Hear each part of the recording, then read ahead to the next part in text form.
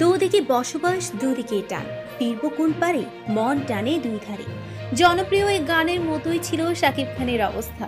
আর তার বিপরীতে একবারে দাঁড়িয়েছিলেন সদ্য আব্রাহাম বোমা ফাটানো চিত্রনায়িকা অপবিশ্বাস। আর অন্য পারে খানের সাম্প্রতিক নায়িকা বুটি অপর বোমা ফাটানোর পর প্রায় সবটাই মেনে নিলেন শাকিব। কিন্তু মোড় ঘুরে গেল তেরোই এপ্রিল তার আচানক হাসপাতালে ভর্তি হওয়ার খবরে। সবাই অনুমান করেছিলেন অপু এবং বুবলি দুজনকে ফাঁকি দিতে তা এই হাসপাতাল আশ্রয়। কারণ মিডিয়ার তোপের মুখে পড়ে পহেলা বৈশাখে অপু আব্রাহামকে ঘরে তুলে নেওয়ার কথা জানিয়েছেন সাকিব।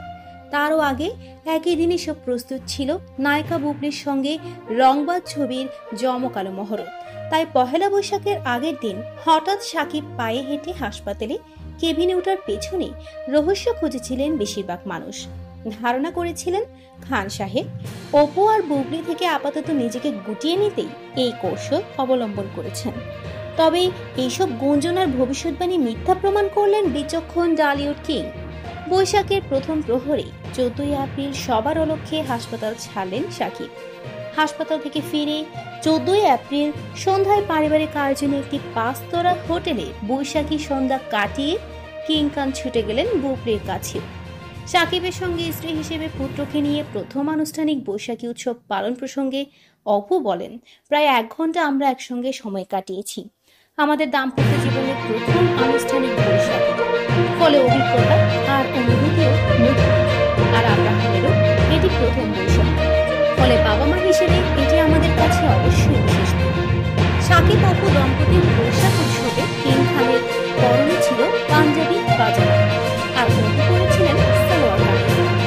বৈশাখী পাঞ্জাবি আর উত্তরীয়নের সেজেছিল তাদের একমাত্র সন্তান আব্রাহাম পারিবারিক আনুষ্ঠানিকতা শেষ করে শাকিব খান একটি পাঞ্জাবি গায়ে রেখে ছুটলেন গুলশানের একটি তারকা হোটেলে বকরির কাছে।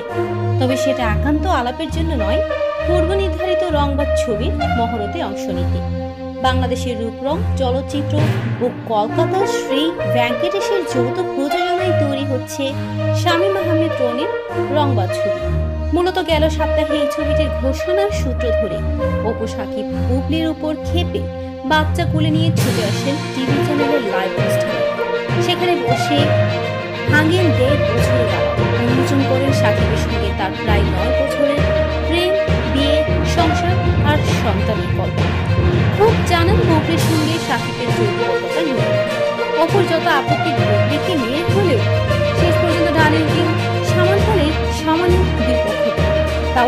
একই হয় এই পহিলা বৈশাখী এখন দেখার মানা অপু বুবলিকে পাশাপাশি রেখে আগামীতেও সুপারস্টারের সফলতার ধারা অব্যাহত থাকে কিনা।